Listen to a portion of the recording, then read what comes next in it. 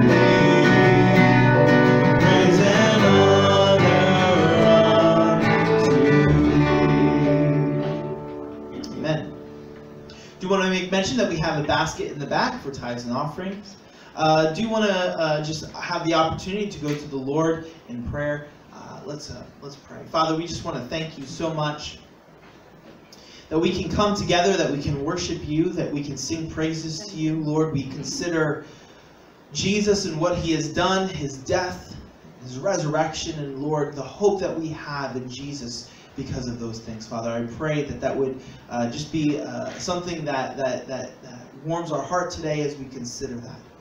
Lord, I pray that you would help us to live uh, lives that glorify and honor your name. Father, I also want to lift up those who uh, are dealing with different things. I, I pray for mom. Uh, I just pray that you continue to help her in the midst of what she's been going through. Lord, help her to be able to gain weight here. Uh, and, and I know she's trying to work on that. Lord, I pray that you would help her for that so that she can have the surgeries that she needs to have moving forward. Father, I also want to lift up Julie to you. Thank you so much that uh, she got some good news. Uh, I pray that you would just continue to help her as she heals, uh, even though things are looking good, Lord. Uh, right now, we, we know that she needs continued healing. So, Lord, we pray that you would continue to do the work that you've begun in her in that. Father, we thank you and praise you that we can uh, come before you. We thank you that we have uh, we have uh, hope in you, and may we always consider that. Lord, we thank you for the way you supply for our needs. Uh, Lord, I know that's something that's been impacting my heart this week, and thank you, Lord, for the way you provide. Yes. For it's in Jesus' name we pray. Amen.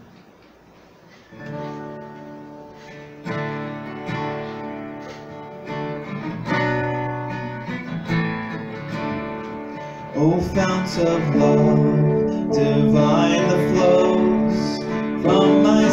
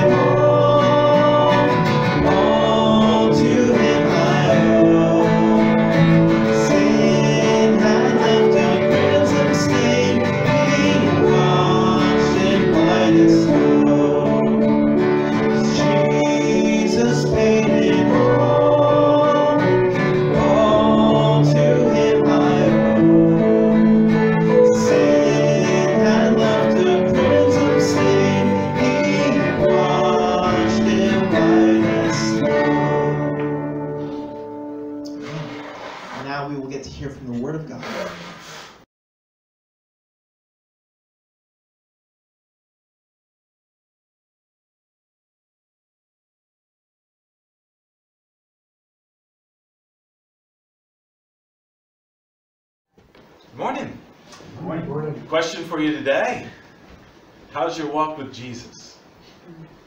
How's your walk with Jesus today? We want to really wrestle with that in this new series, really looking at this concept of what does it mean to follow Christ? And what does that not only look like, but how are we doing? How are we doing? I mean, if we put it on the Likert scale, you know, you know, from one being very poor or non-existent to five being great, you know, where are you? Are we settling for somewhere in the middle? Or are we really striving and growing to really have a great, deep, intimate, meaningful relationship with Jesus Christ? And, and you know, how do we come to that? And, and we're going to look at two stories, and then I'm going to weave in a third story about Peter. So we're looking at Peter and his confession of who Jesus is. Then we're going to look at Peter and his struggle with what Jesus was called to do. And then we're going to wrestle with Jesus' words, follow me, and what that means, and what that takes, and what that looks like. And then we're going to run, um, kind of take another story into it and incorporate it from uh, the book of John, John chapter 21, where we look at uh, Jesus again telling Peter, follow me. We often focus upon the question Jesus asks. You know, Peter, do you love me? And then he, we focus on that and then feed my sheep. But ultimately, at the end, Jesus twice tells Peter, follow me. The same words that we're going to be looking at. Our new series is from Matthew chapter 13. We're going to look at verses uh, 13 through 15 today uh, concerning the Son of Man. But our series, uh, 10 message series, will go all the way through verse 28 of the text. Uh, today, I, our, our, our uh, again, here's the 10 messages. And again, we see the first four messages relate to this first story uh, where Peter confesses Jesus as the Christ, the Son of the living God. And then the second two messages we'll be looking at when, when Jesus tells Peter, Get thee behind me, what? Satan, because he had his mind on man's interests. And you know, that's when we advocate for Satan's purposes, when our mind is focused on man's purpose, man's interest, rather than God's. And then the last four message we'll look at Christ's teaching on what it means uh, to follow him. So today we're going to be looking at, uh, again, those are the, the three parts, part one, part two, part three. Today we're going to be looking at the bold part, but I'm going to read um, all the way uh, through the, the, the end of uh, this context in Matthew chapter 16. When Jesus came into the region of Caesarea Philippi, he asked his disciples, saying, Who do men say that I, the Son of Man, am? So they said, Some said John the Baptist, some Elijah, others Jeremiah or one of the other prophets. He said to them, But who do you say that I am? Simon Peter answered and said, You are the Christ, the Son of the living God. Jesus answered and said to him, Blessed are you, Simon Barjona, for flesh and blood has uh, not revealed this to you, but my Father who is in heaven. And I say to you that you are Peter, and on this rock I will build my church, and the gates of Hades shall not prevail against it. And I will give you the keys of the kingdom of heaven. And whatever you bind on earth will be bound in heaven, and whatever you loose on earth will be loosed in heaven. Let's pray. Father, thank you for the mighty word of God, your word, and particularly the words of Christ here. And Peter's confession of who Christ was. We pray as we look at today that Jesus is the Son of Man and what that means. That the message might truly help us to understand how we start with understanding who Christ is. And may who Christ is impact who we are. And we pray this in Jesus' name. Amen. So Kathy's getting a little bit stronger. Um, in fact, just yesterday she walked all the way down our trail to the river and then all the way back up, so that's a good sign. Uh, but uh, earlier this week, um, uh, she decided to uh, do some gardening or some workout, um, and so she asked me to take the mulch. I had a big bag uh, of mulch, and she asked me to take it up.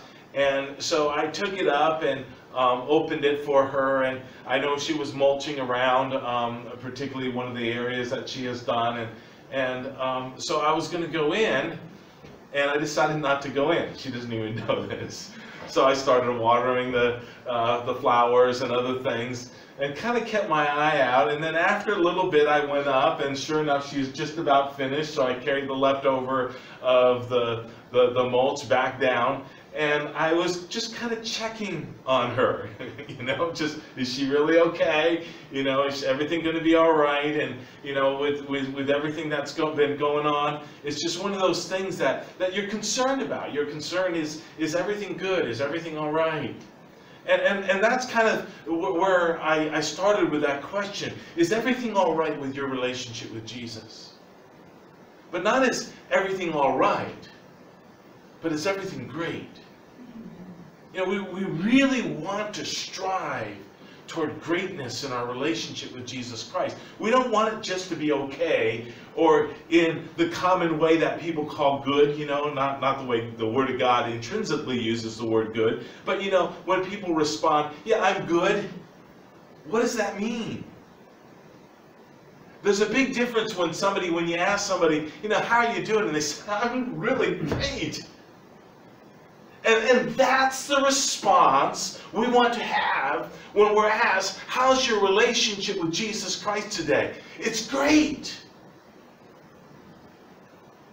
But I think that often we settle for good, don't we? We settle for, well, it's all right, it's good. You know, it's okay, it's, it's good. And, and we really need to look at what is a relationship with Jesus Christ that's truly great, that's truly intimate, that's truly meaningful look like, looks like. And, and we, we start with this first part, who Christ is. This will be our first four messages. If you don't know Christ, you can't follow Christ. Let me say that again. If you don't truly know who Christ is, you can't truly follow Christ. And that's why the context is so important. Jesus, according to the Apostle Matthew, is going to give us teaching on what it looks like to walk with Him, to follow Him. But before that, these two stories, the story of Peter's confession and then the story of Peter's having his mind set on man's interest rather than God's. These two stories give to us a valuable understanding of the context of what it looks like to have a great walk with Jesus Christ. And today we're looking at this whole idea of the Son of Man. Who is the Son of Man? What does that mean? In fact, the wording is really kind of unique as we come to this first point. Who do men say? But Jesus, Jesus doesn't just say, Who do men say I am? As he does in the second part in verse 15. He says, Who do you? Actually, the wording is you, but. The wording is very important. We'll get to that in a moment. But in this first thing, he says, not who do men say that I am? He says, who do men say that I, the Son of Man, am? The Son of Man am. Now, it's vitally important to realize that in the beginning of our verse that he asked. Thayer says to ask means to question. That's what we see here. But to ask also is more than just asking. It's the idea of this picture of questioning and going deeper and wrestling.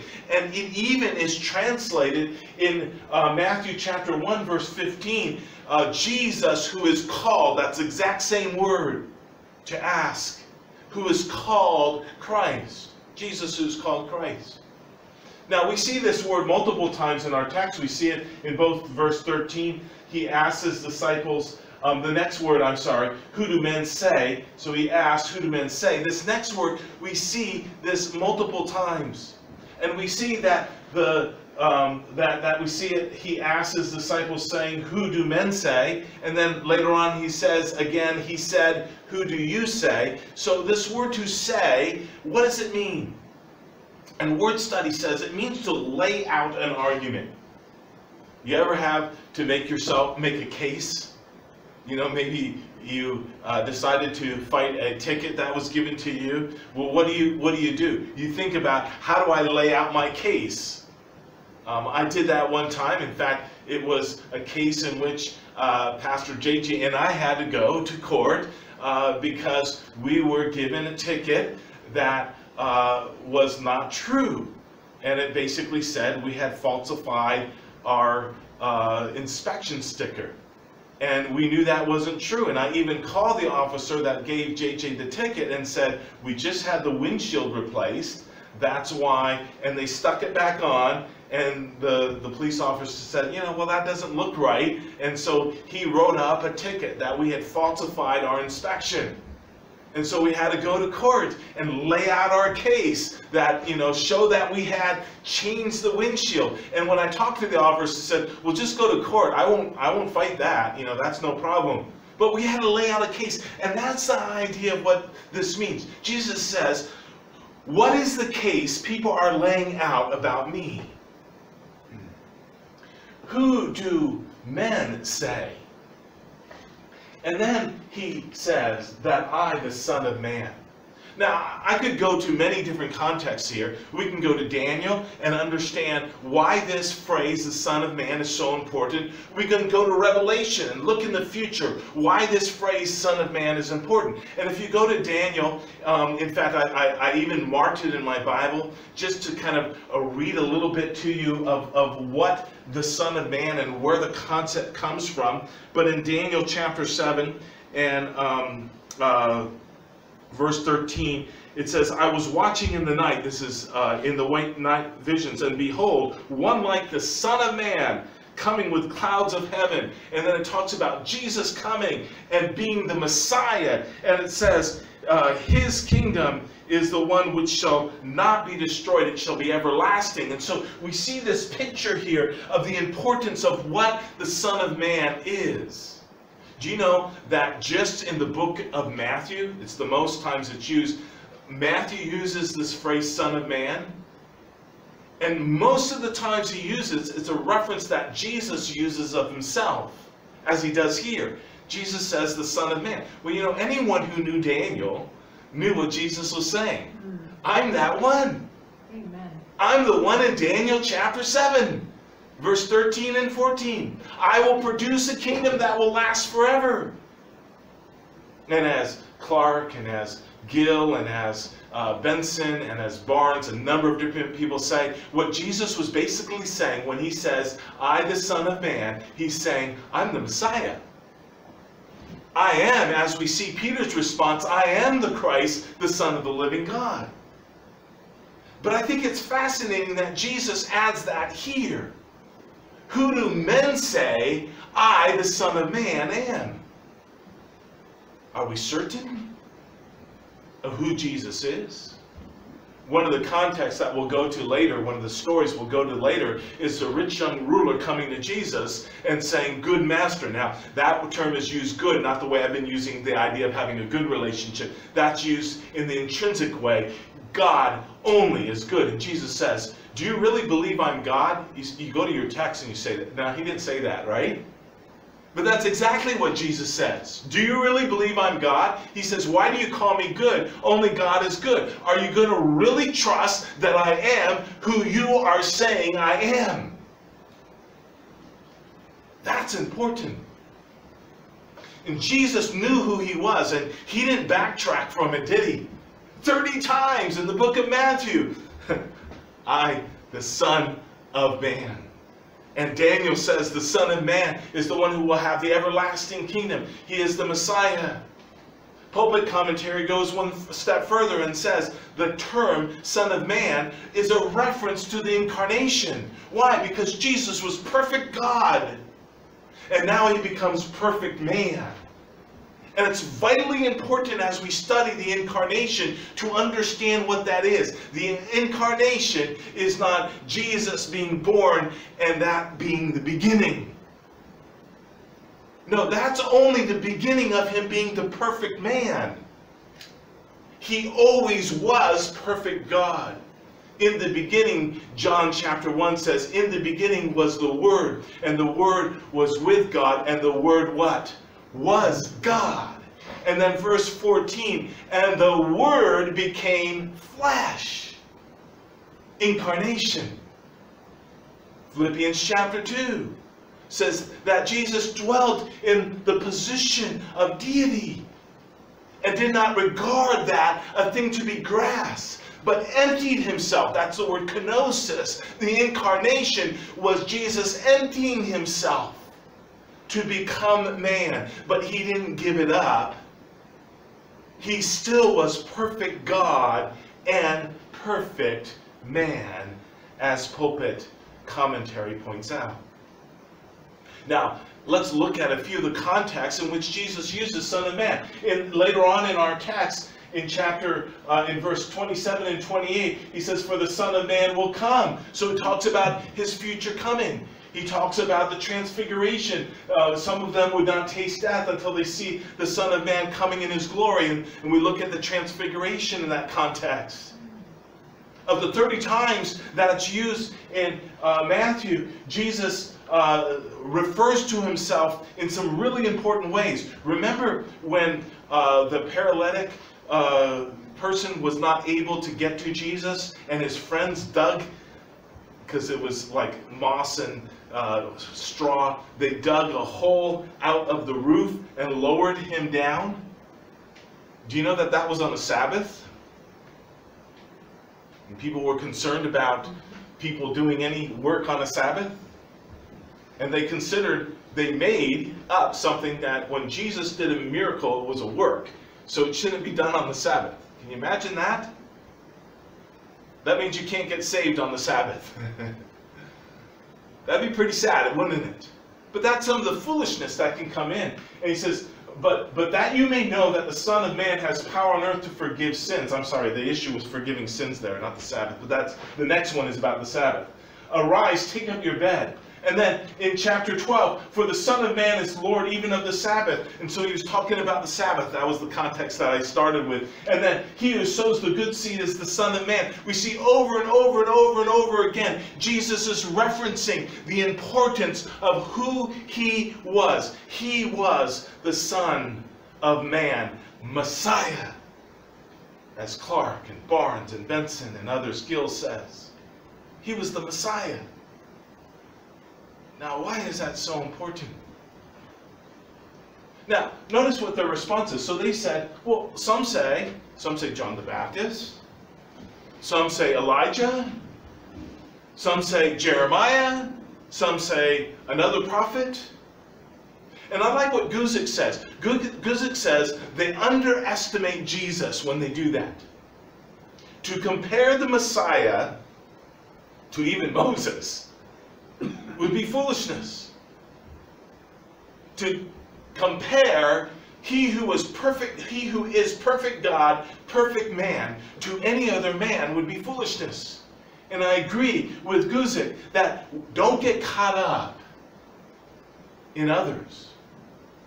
Even if they're great men like Moses and Elijah and Jeremiah and John the Baptist. What did John the Baptist say about Jesus? I'm not even worthy to untie the sandal, his sandals. I'm not even worthy of that. I'm not, I'm not even worthy to be compared to him, is what he was saying. Don't compare me. You know, in the Christian faith, we get very comparative, don't we? And we need to get our focus back on Jesus. This is what understanding who Jesus is is why it's so important. Because when we understand who Jesus is, nothing else compares. Now, one other text that's really important is John 3.16, for God so loved the world, right? That he gave his only begotten son. Do you realize that Jesus is talking about the Son of Man there? He is actually bringing new truth to Nicodemus and new understanding to Nicodemus who needed to understand why the Messiah, the Son of Man. Now, Nicodemus was well educated. He would have known Daniel, and he would have understand Daniel chapter 7 and verse 13 and 14. And he would understand when Jesus says, Son of Man, who Jesus was talking about.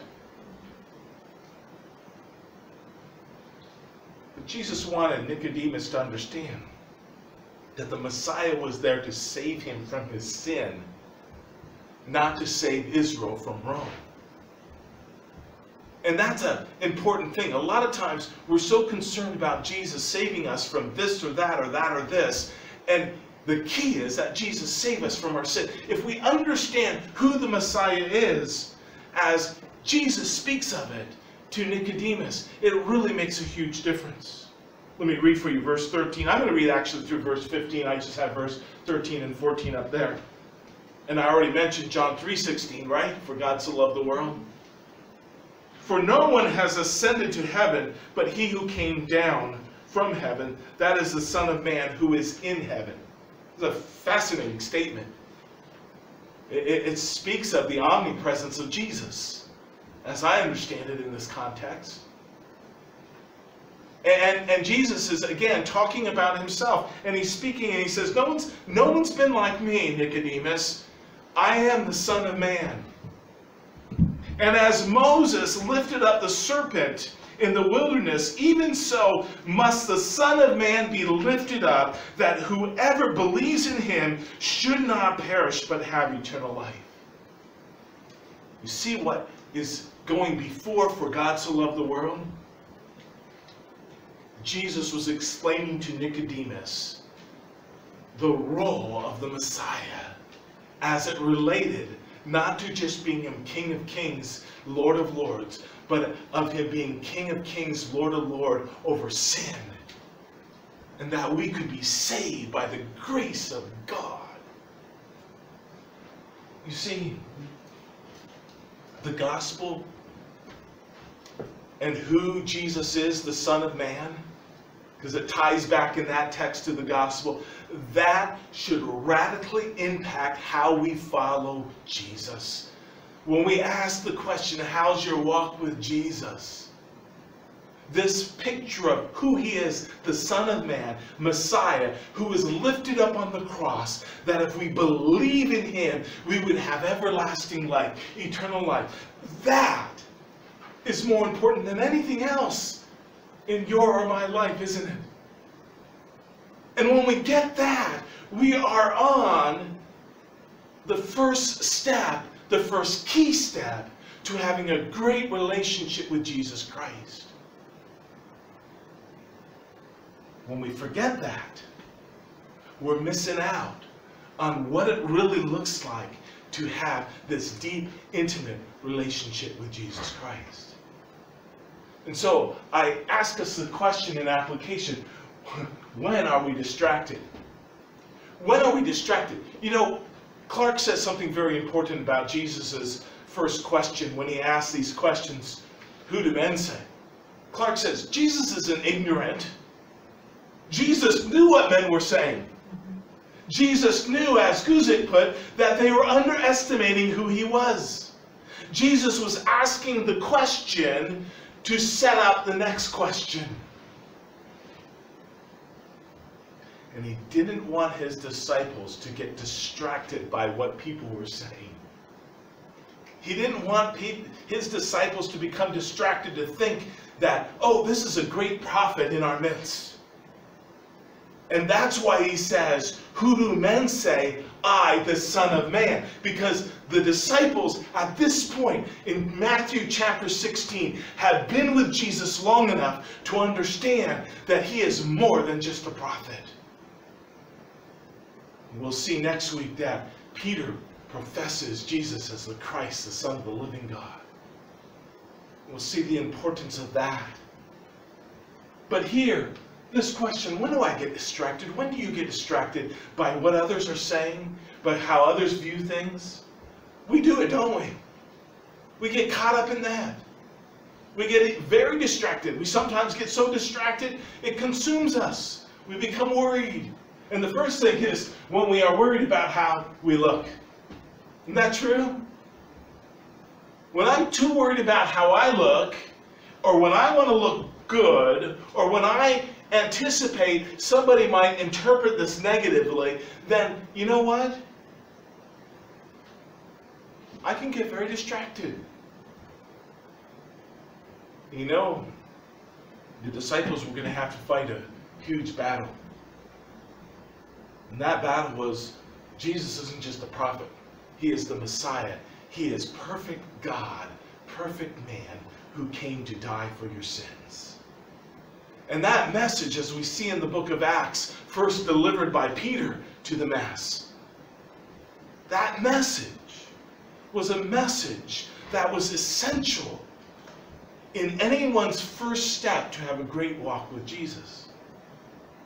And so that message today for us is so important. Do I get worried about what others are thinking? We'll look at a text where many were doing that. And maybe that's why they weren't seeing Jesus for who he really was. Secondly, when we esteem others too highly, that includes the pastor. If you esteem somebody too highly, they get in the way of our view of Christ. Yes, pastors. Yes, you. Yes, all of us should represent Jesus and his example. But we're not Jesus. Amen? And, and so we need to be very, very careful. I've had people literally say to me, literally say to me, the reason I don't follow Jesus is because so and so did this.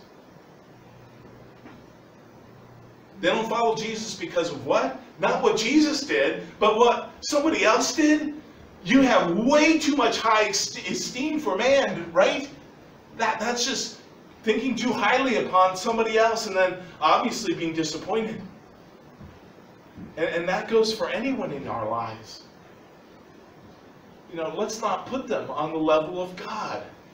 Let's not put them on the level of perfect man and perfect God. And that's the third point when we do not esteem Jesus highly enough. That's a real issue in our lives. That was the problem with the rich young ruler. That we'll look at that story later on again. I keep coming back to it. I knew I would come back to it multiple times in this message, but we'll actually take a deeper look at it later on in our series. But the rich young ruler was basically saying, hey, I want eternal life. And Jesus basically says to him, here's the key, follow me. He uses exact same words we'll see in verse 24. The rich young ruler wasn't willing to recognize who Jesus was. He wasn't willing to esteem Jesus high enough. That doesn't matter. We can look at the rich young ruler and categorize him as one of the biggest idiots He had the opportunity to follow Jesus and he let it go because of his riches. But that's you and me today. You and me today. Us, we, when we decide to do something that's not following Jesus, is basically saying, Jesus, you're not good enough, or you're not big enough, or you're not. You see what I'm saying? We're not esteeming Jesus in the position that Jesus should be esteemed. That's why this first step is so important in following Jesus. If we really believe that Jesus is the Son of Man, perfect God, perfect man, then in believing that, it should make a difference. And when it makes a difference, it sets us forth in a course of a great walk with Jesus. And then finally and fourthly, when we get caught up in the temporal, three weeks ago I talked about the temporal perspective with suffering. But it doesn't have to just be suffering. It can be things in our life. It can be people in our life. It can be positions in our life. It can be work in our life. It can be neighbors in our life. It can be all kinds of things. When we have a temporal perspective, it takes away from the eternal perspective that we see in Daniel chapter 7 that I read earlier, that Jesus is about the everlasting kingdom. Seek first not what? The kingdom of earth, but what? The kingdom of what? Heaven, right? Seek for his kingdom, the eternal one. And that's what's really important here. And that brings us to our second point. Jesus then goes from them saying, well, some say this, some say that, some say this, and then he says, you. And A.T. Robertson points out, because our, our translations don't bring this out. In fact, in mine, I start with but. The word but is uh, contrasting or distinguishing something from something else, according to Thayer. It's this idea of distinguishing. But Jesus really starts with, now normally you would see, but you. Jesus changes the order, and Matthew, by the inspiration of the Spirit of God, remembers the order that Jesus gave. Because it impacted him. It impacted his soul. And the Spirit of God brings it to mind. And Jesus didn't start with but you. He starts with you. It's a little bit like, you know, when you see your kids doing something and you say, hey, and you say their name. And A.T. Robertson points out, he says, note the emphatic position of the word you, of the personal pronoun you. It's a little bit like Jesus saying, Chris, Sue, Jack, you know, and it could go all the way across here. You know, it's like him pointing to you and saying, you know, hey, I want to talk to you, Chris. I want to talk to you, Sue. I want to talk to you, Jack. You know? What does it mean? You know? I want to talk to you, Ron. I'm just going to talk to these people over here. you, Rachel. You know, what does that look like? When we really understand that Jesus is coming and saying, You. As A.T. Robertson says, the Greek here is fairly clear. Jesus is putting them on the spot. As Clarke says, he's giving them an opportunity to declare their faith. And when it comes to following Jesus, when it comes to our walk with Jesus, Jesus is going to be emphatic and say, hey, you, you, Kathy. You know, he's going to point the finger and just say, you. So, but you, who do you say? Now, we've already looked at that phrase. Uh, by the way, the phrase I am was in the first one too, and I'm going to get to that specifically. Jesus uses the phrase, but you or you but say I am. And he uses the word that they had already heard from John chapter 8 and verse 58. When Jesus, speaking of Abraham, says, Before Abraham was what? I am.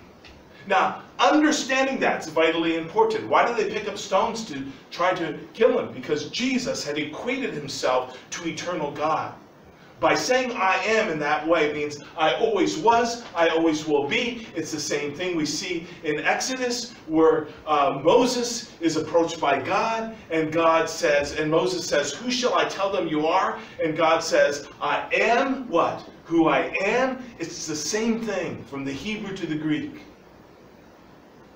Now, this word is not used as much. You think I am is used a ton of times. It's used 146 times in the New Testament. 52 times it's used by the Apostle John, the one who mentioned that text where Jesus says, I am. And, and, just look at some of the context in the book of John. I am the bread of life. I am the light of the world. I am from above. I am the good shepherd. I am the resurrection and the life. I am the way. I am the truth. I am the life. I'm continuing the I am there. I am the vine in chapter 15. In the book of John, Jesus uses this concept, or the Spirit of God uses John to reflect Jesus' words, I am. And now he says to the apostles, You you, Chris. You, Sue. You, Jack. You, Ron. You, Rachel. We can go on and on. You. Who do you say that I am? We need this every single day in our life. We need this challenge. Because we can go on our merry way and forget.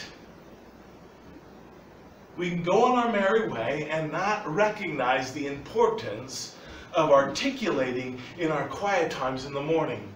If you don't have your quiet time in the morning, you can still do this in the morning. Of saying, Jesus, you are God, perfect God, perfect man. Help me to follow you today. That's why in Luke chapter 9 and verse 23, Jesus says, if you want to follow me, take up your cross what? Daily and follow me. Daily. Or another way to put it, every single day we need this. And it must start with recognizing who Jesus truly is, the I am. Now, this is about confession. I'll get into more confession next week as we look at Peter's great confession. But, but we'll get into more of that. But I, really what Jesus is doing is he's giving them an opportunity to confess him to confess. And, and I, I, thought of three scriptures, and we're going to get into more, like I said, of this next week. But I thought vitally important for us today to realize that Jesus is asking them to confess him. And Jesus says something in the book of Matthew. He says, Whoever confesses me before men, him I will what?